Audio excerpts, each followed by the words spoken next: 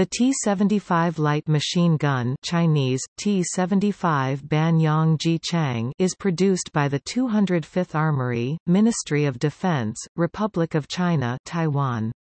The T-75 is based on the proven Belgian-made FN Minimi LMG incorporating features from the T-57 and T-74 machine guns with more modern features.